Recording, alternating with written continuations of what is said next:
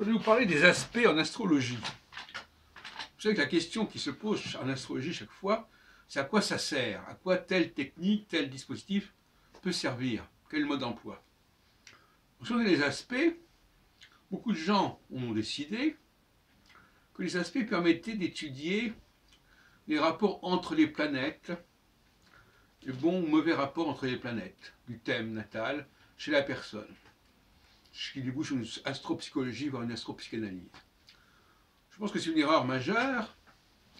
En réalité, les aspects sont une technique prévisionnelle.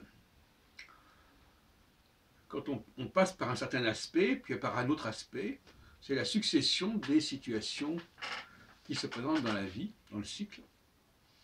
Et on comprend très bien qu'effectivement, euh, on puisse passer d'un aspect A un aspect B à un aspect C. Et il paraît c'est une aberration de croire que euh, le carré, on peut passer par un carré à un moment donné de sa vie. Maintenant, avoir un carré dans son thème natal pour toute son existence, c'est absurde. absurde. Donc, euh, l'astrologie prévisionnelle comporte un certain nombre de techniques. Et si on ne veut pas faire la prévision, ben on n'a pas à utiliser ces techniques. C'est aussi simple que ça. On ne va pas les recycler pour utiliser la psychologie de la personne, alors que c'est une technique qui sert à faire des prévisions et à étudier les, étapes d'un cycle.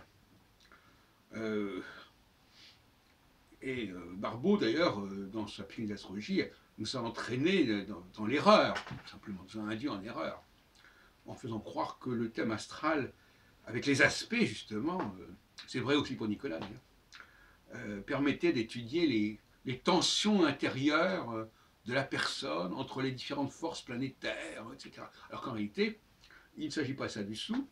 Il s'agit avant tout d'un processus cyclique, c'est-à-dire, c'est un peu compliqué, un processus cyclique, c'est-à-dire un point fixe par rapport auquel un point mobile euh, se place, se constitue euh, en aval et en amont, s'éloigne, puis se rapproche, puis passe par des phases successives, comme euh, dans le cas de la Lune qui passe par une phase de, nouvelle Lune, puis de quartier de Lune, puis de pleine Lune, etc. Donc euh, l'aspect est quelque chose de totalement dynamique, ce que probablement d'ailleurs Kepler lui-même n'avait pas compris, entre parenthèses.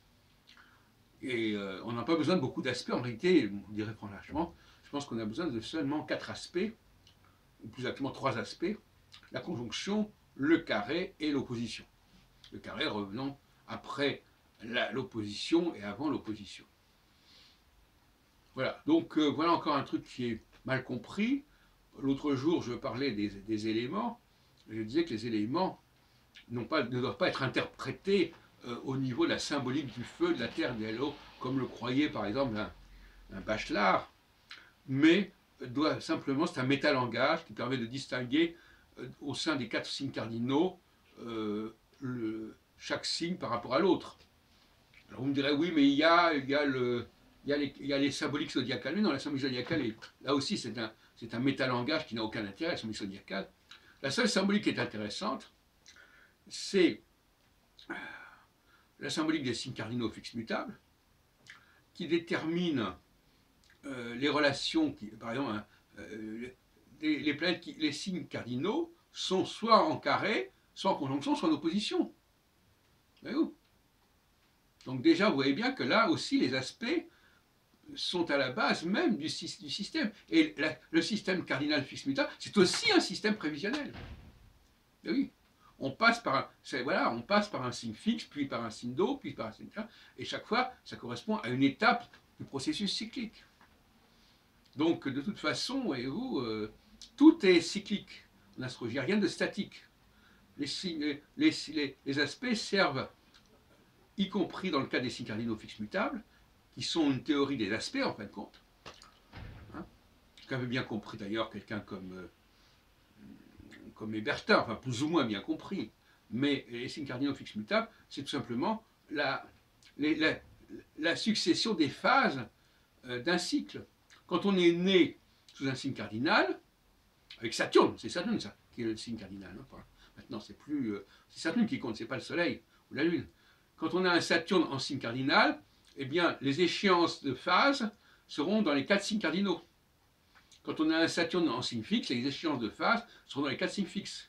Quand on est né avec un Saturne en signe mutable, les échéances de phase tous les 7 ans, 7-8 ans, seront dans les signes mutables, etc. Et ainsi de suite.